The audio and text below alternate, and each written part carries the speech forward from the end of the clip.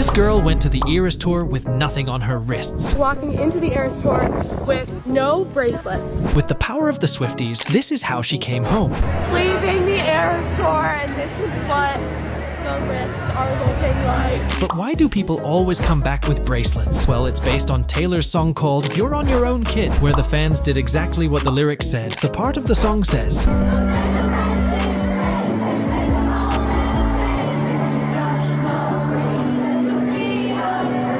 Subscribe if you want a bracelet.